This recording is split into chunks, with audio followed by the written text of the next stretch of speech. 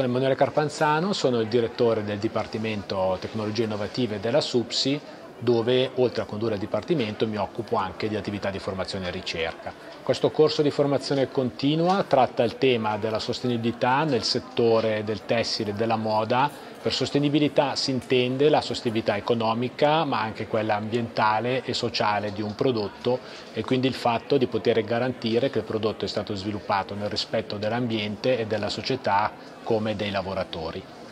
Le competenze oggi richieste per poter certificare la sostenibilità dei propri processi e dei propri prodotti sono competenze estremamente innovative, all'avanguardia, che abbiamo avuto modo di sviluppare attraverso diversi progetti di ricerca in ambito sia federale che internazionale. Queste competenze sviluppate nella ricerca le abbiamo poi portate nel mondo della formazione continua attraverso questo percorso formativo. Il percorso ha avuto una prima parte sviluppata più con le aziende in Ticino che aveva già dato origine a un CAS precedente e poi si è articolato a livello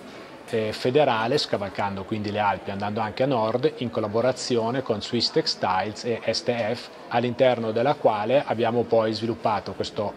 offerta formativa in lingua tedesca e i corsi si tengono sia in Zurigo che in Ticino. Stiamo già pianificando ulteriori attività comuni e stiamo anche sviluppando un'offerta formativa a livello master, sempre di formazione continua, con Ticino Moda e in questo caso sarà un master in inglese tenuto prioritariamente in Ticino e dedicato prioritariamente alle aziende moda presenti in Ticino.